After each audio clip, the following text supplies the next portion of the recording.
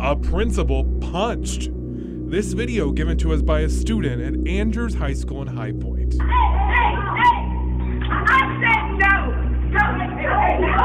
A teacher tossed around in a Facebook clip from Page High School in Greensboro.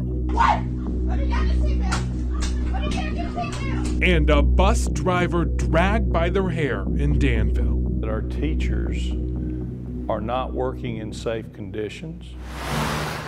Mark Regill was a school resource officer at Grimsley High School for eight years. Now retired, he's still troubled by what he saw. Teachers with injured backs. We've had uh, teachers beat bloodied. I know of one teacher and had a rib broken where he was knocked to the floor and kicked in the ribs. You don't just have to take his word for it. Two Wants to Know uncovered documented proof of the problem in Triad schools. Across the viewing area, there were 235 assaults on staff reported in one school year. That means just about every school day, a staff member somewhere in our area is under attack.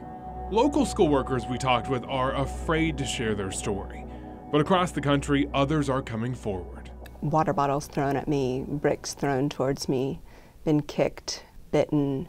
Uh, my bra has been exposed. I had been nearly stabbed. I've had my breast grabbed so violently it left bruises. Um, I've had bodies rubbed against me in a sexual nat nature. Uh, I've had my rotator cuff torn. Their number one duty is to make sure that everybody's kept safe. The president of the North Carolina Association of Educators says teachers getting seriously hurt is rare. But when it happens, it's usually because they're trying to break up a fight. That's sometimes having to get into in between the fights of the educators there that, uh, you know, they're going to do that uh, to make sure kids are kept safe.